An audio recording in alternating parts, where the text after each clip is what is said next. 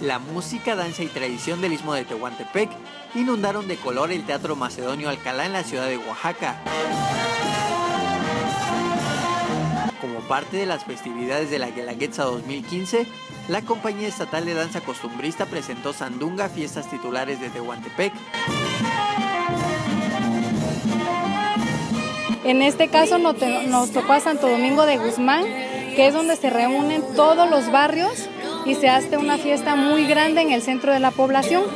Entonces se inicia desde que, desde que los hombres van al campo a traer las palmas, las flores y demás para que se adorne la iglesia y aparte para, hacer la, la enramada, llega la música en vivo.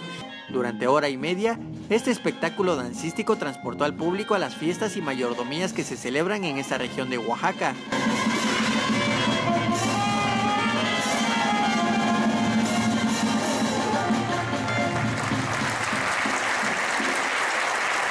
La belleza de sus mujeres, la elegancia del vestuario y el porte de los caballeros cautivaron a propios y extraños.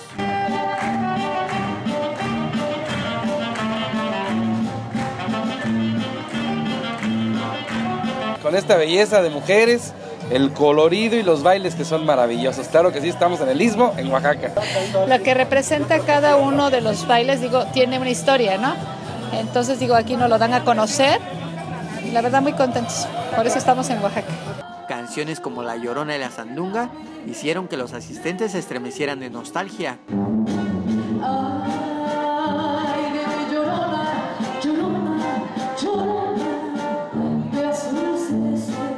Cada año los jóvenes de esta compañía se presentan en la víspera de los lunes del cerro para difundir los bailes y costumbres de su tierra.